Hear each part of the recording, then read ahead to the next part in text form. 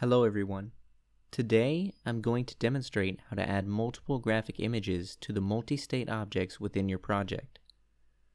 We'll start off with our EasyBuilder project open. Selecting word lamp number 1, our general tab will open. In this tab we'll configure the number of states in our attribute box to 4.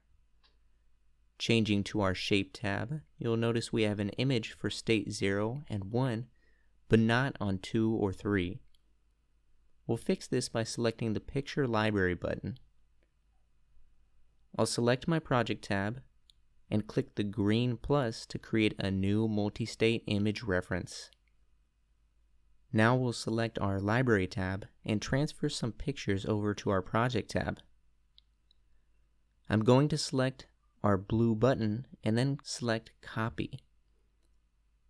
Now we'll head back to our project tab where I'll paste this into our blank picture box. I'll then repeat this for our three additional states.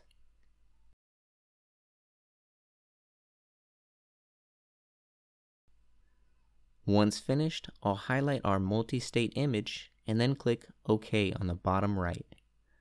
Now our word lamp will have a custom image for each state.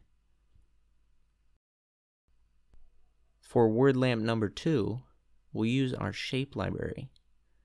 To begin, we'll head to our project tab and select our shape library. As we did earlier, we'll select our project tab and then click the green plus to add a new image reference.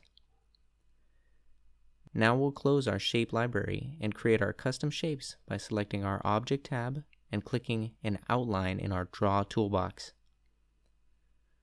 I'll create my shape and then select our project tab and save this in our shape library by clicking Save to Shape under our Shape button. I'll modify this shape to change its color and create our additional three states.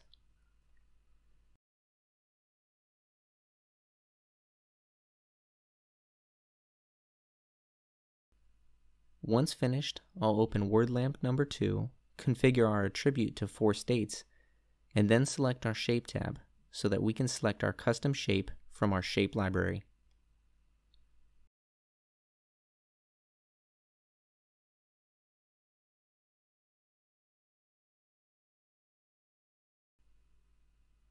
With both configured, we'll run an offline simulation to see the state changes in action.